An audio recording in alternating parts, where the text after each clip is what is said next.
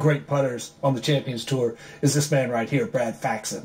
Uh, I think if you were ever going to try to copy and use a conventional style, this would be the guy that you would copy, Billy. I still think he was born a great putter. Uh, I asked Brad one time what he thinks about when he's putting, and he said, I just try to have fun rolling the ball to the hole.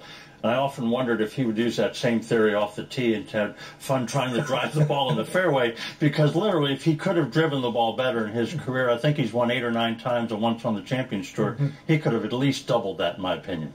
Right. And, and when you hear Cook and the other players talk about the sections of the greens here at Harbor Shores, in Detroit because he's taking a lesson from everybody else. well, Billy Kratzert, you know, you, you dated a lot of putters in your career, but Brad has been married.